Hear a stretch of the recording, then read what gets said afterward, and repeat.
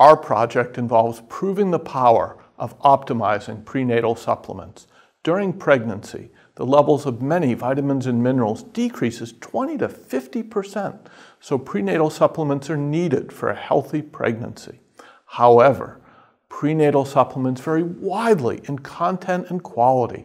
Most prenatals average only 50% of the recommendations we developed with the Neurological Health Foundation. Prenatals can prevent many pregnancy problems if at an optimal dose, including miscarriage, anemia, and preterm birth. Optimal prenatal supplements can prevent many childhood disorders, including anemia, autism, and birth defect.